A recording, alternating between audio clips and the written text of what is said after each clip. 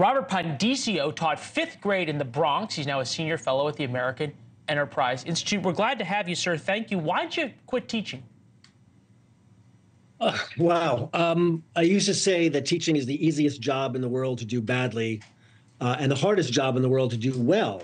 And this wasn't even counting some of the factors that you just described in, in, in that lead up.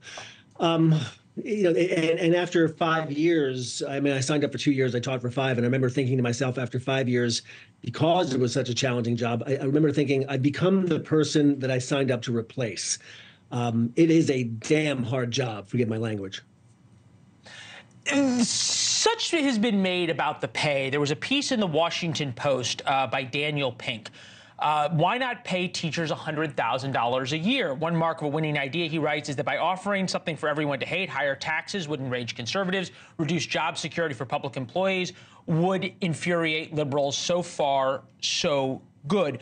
We've found with police uh, that higher pay does not lead to more recruitment numbers. There's something else happening that means people don't want to be a cop. Is that true for teachers as well?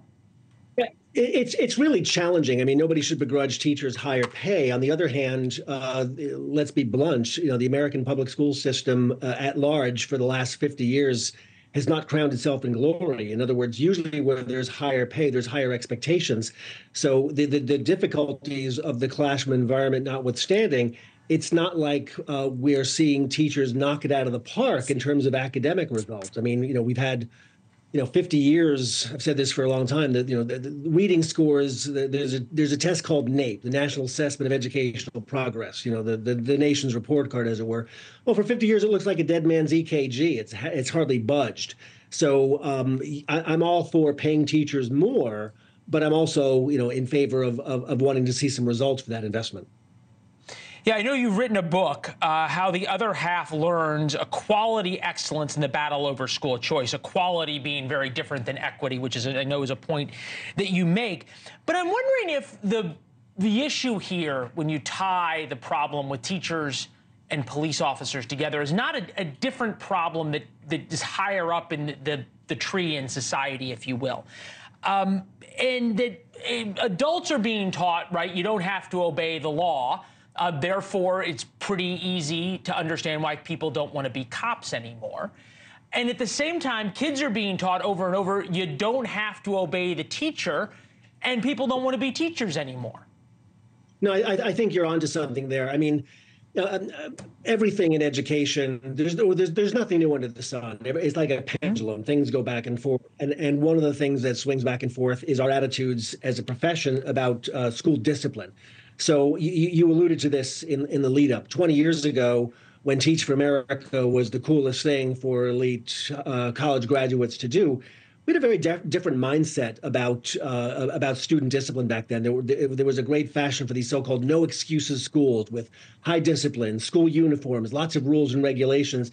Well, in the last couple of years, that's fallen out of fashion. Now you hear talk about restorative justice, the school to prison pipeline. You hear re- reports that say, look, when kids get suspended or dis- disciplined, they tend to drop out. They tend to not persist in school.